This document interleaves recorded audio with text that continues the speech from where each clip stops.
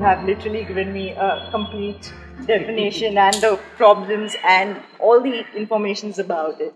Another thing that I always wanted to, this is a very common issue we all have, is something that um, can, um, I know uh, one should forgive easily. But Forgive whom? forgiveness basically and it's it's like a common issue um, but No. it's hard No, no, no, okay, come on, I know what you're going to say. See, right now, when do I have to forgive you? First thing is, I criminalize you for something. Then I'm trying to forgive you. Why this problem? I don't criminalize you, I just accept you the way you are. Where is the question of forgiveness? Yes yes We're simply complicating life. but yeah but when it comes to forgiveness like when people No, but ask why is forgiveness needed? First of all, I must criminalize you, isn't it, to forgive you? I don't criminalize you, you do what you want with your life. Why? Because that's what you know best right now. If you knew better, you would have done better. So you are doing what you know best. Why do I have to criminalize you in my mind and then forgive you? There is an unnecessary complication in life.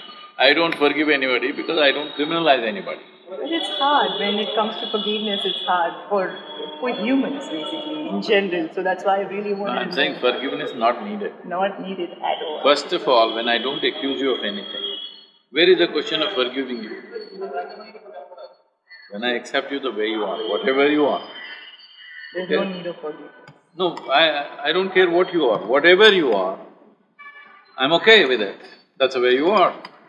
That's how human beings are, all right? So people get into this thing because they have unrealistic expectations of… out of people. Because their expectations are unrealistic, they will criminalize somebody else in their mind. And then, one day they will forgive them. Don't play God, live with that nonsense. Accept people the way you are, you are not a perfect human being. So is nobody else around you.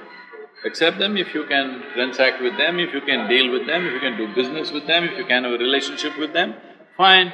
If you cannot, no, you leave them alone. wish everyone could think like you, Sadhguruji. That's why that makes you very different and we seek for helps and we seek No, for No, I'm things. saying you're unnecessarily creating a complication in your mind and struggle with it forever. Because once you criminalize somebody in your mind, how much ever forgiving uh, acting you do, it's not going to be cleared in your mind. True, thank you so much for this. And another thing that I wanted to always find out or figure out, uh, something to do with spirituality.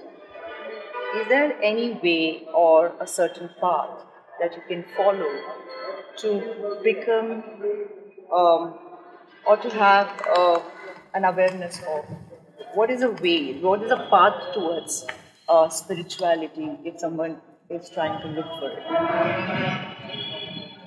See, spirituality is not an ideology of some kind. It is not a set of moralities. Nor is it going to the temple, church or mosque. Spiritual process means this. This body, you accumulate it over a period of time. You are not born like this, that's what I'm saying.